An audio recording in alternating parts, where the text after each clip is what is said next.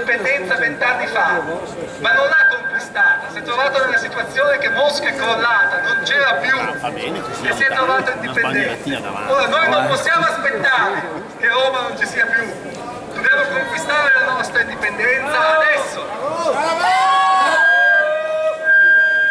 E vorrei essere brevissimo. Oggi abbiamo cominciato dal ponte di Calatrava questa marcia incontrato tantissimi turisti che chiedevano cosa vogliamo e vorrei soffermarmi solo su tre. Uno è una coppia olandese che mi ha chiesto ma ci, ci credete veramente?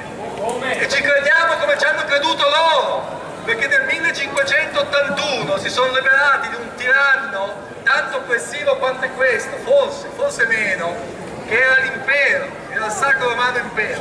Hanno lanciato la dichiarazione di indipendenza e sono diventati 30 anni dopo la Repubblica delle Province Unite che in una forma diversa ancora l'Olanda di adesso.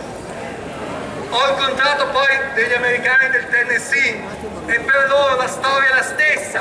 Nel 1776 13 colonie affamate, disperate, vessate dalla madrepatria inglese sottoscritto un documento fondamentale per la storia dell'umanità, una dichiarazione di indipendenza che ha dato origine agli Stati Uniti d'America e hanno combattuto e hanno lottato. E l'ultimo è un gruppo di, di studenti, immagino scozzesi, e ha detto sapete cosa stiamo facendo? Loro hanno detto sì perché noi facciamo lo stesso.